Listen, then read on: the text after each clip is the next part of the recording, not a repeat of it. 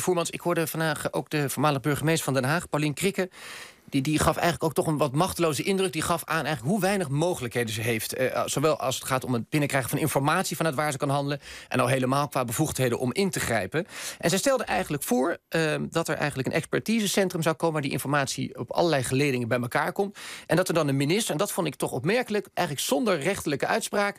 zelf dan zo'n organisatie, bijvoorbeeld een moskee, kan verordenen. om dat geld, dus eigenlijk onder dwang van de overheid. terug te laten storten. Wat dacht u toen u dat hoorde langskomen? Nou, op zich um, was het niet zo gek. Hè? De informatie is alles. En die komt niet bij elkaar en daarom kan je niet optreden. Er zijn wel instrumenten, dus vaak, eh, er zijn veel instanties mee bezig. Dus op zich was dat niet zo'n gek plan. Of dat terugstorten het nou is. Er is wetgeving op het ogenblik in de maak en al gemaakt... die die financieringstromen transparant kan maken... zodat je gewoon verplicht bent om daarover te rapporteren. Dat is een belangrijk punt van informatie.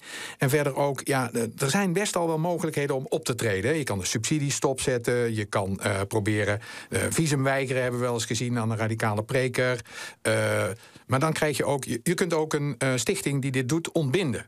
Uh, en je kunt ook vervolgen wegens haatzaaien. Zelfs in een moskee. Hè? Dus iedereen heeft de, de, vrijheid van godsdienst in Nederland om dat te beleven.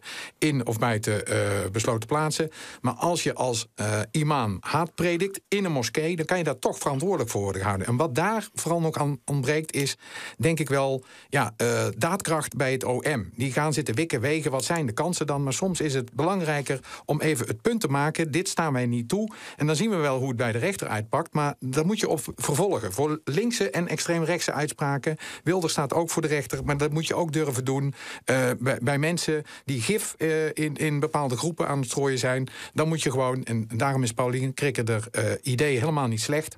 Even ja, iedereen verzamelen, even om elkaar heen gaan staan van hoe pakken we nu even door, zodat echt de rotte appelen eruit gehaald worden en niet de hele groep een soort verdachtmaking over zich heen krijgt. Daar is daadkracht voor nodig. Ja.